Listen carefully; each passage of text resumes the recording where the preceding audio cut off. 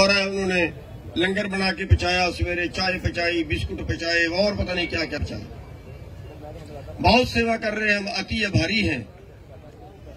लेकिन इस पे एक छोटा सा बयान बादल साहब का आया है। सुखबीर बादल साहब का। और उसने कहा है कि गुरनाम सिंह ने मेरे को कल फ़ोन किया था। कि गुरुद्वारा साहिब से लंगर करनाल में भिजवाया जाए। तो क्यों बयान दिया? उसके पीछे क्या मनसा थी? परमात्मा जाने। मैंने अभी तक बयान सुना नहीं है, लेकिन मीडिया वालों ने भी मेरे से आते आते कई सवाल कर लिए कि उन्होंने ऐसा बयान दिया है, क्या आपकी कोई बात हुई थी? वो क्या दर्शाना चाहते हैं मेरे को नहीं पता। लेकिन गुरुद्वारे वाले हमारी खुद सेवा कर रहे हैं, हमें फ़ोन करने की क्या ज़रूरत थी, बादल साहब को? क्या लंगर के लिए बादल साहब को फ़ोन करेंगे? और क्या बादल साहब सारे गुरुद्वारे को कोई ठेकेदार थोड़े ही हो गए हैं कि उन्हीं के कहने से लंगर आएगा?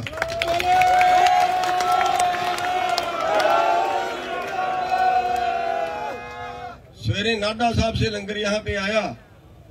वहाँ के जो हेड है वो मेरे को मिले। उन्होंने कहा जी हम नाडा साहब से लंगर लेके आए हैं।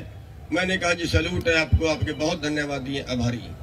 आप कहा नाडा साहब से लेकर करनाल में नगरी पहुँचे, बहुत धन्यवाद।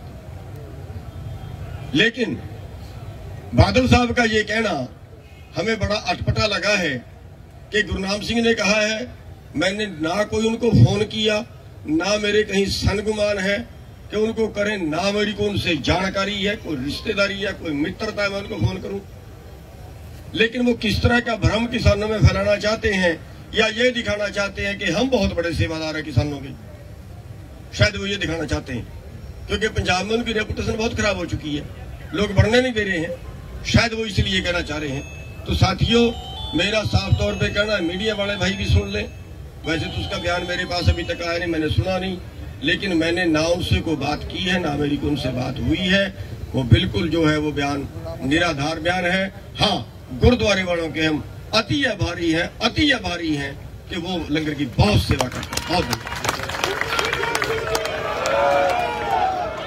हाँ एक अपील, एक एक अपील एक अपील। ये धरना 24 घंटे का है। यहाँ पे आप सभी लोग डटे रहेंगे। एक बात, दूसरा बात, मैं थोड़ी सी रिक्वेस्ट टिकैत साहब से करूँगा कि जो यूपी के इधर वाले ज़िले हैं, हरियाणा के साथ लगते, उनको आप थोड़ा सा और बेनती कर दें कि वो यहाँ पे अपनी हाजिरी रखें। क्योंकि दूर के, ज़्यादा दूर के लोग नहीं आ सकते, लेकिन यूपी हमारा पड़ोसी है, बिल्कुल, जो इधर वाले लोग हैं, जो यहाँ पे धान भी बेचने आते हैं, जो सारे का, वो लोग यहाँ पे हाजिरी और रखें, ताकि यहाँ पे अच्छी हाजिरी बनी रहे। सबका धन्यवाद। बहुत बहुत धन्यवाद।